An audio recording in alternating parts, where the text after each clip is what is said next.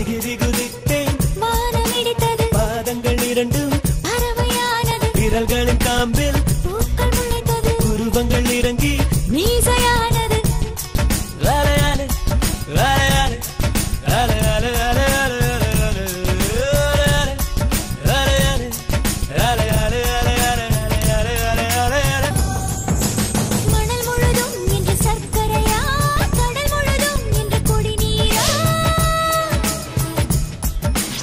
நடைமுழு